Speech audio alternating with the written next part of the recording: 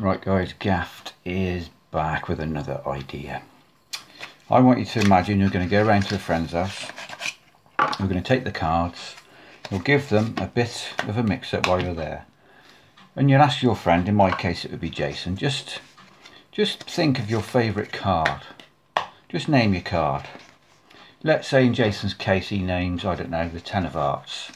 Now would you be impressed if I could dribble the cards and stop on the ten of hearts. You would? You're gonna not going to believe this, but the 10, oh, eight of diamonds. What about if I could get you to simply cut the cards to the ten of hearts?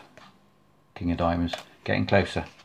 I know that's a bit of a long shot, but this is a kind of any card, oops, at any location.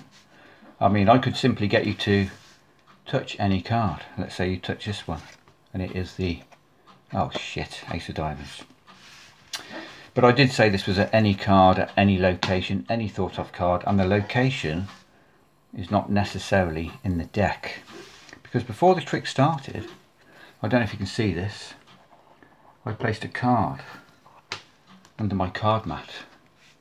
Would you be impressed if this card was the 10 of hearts.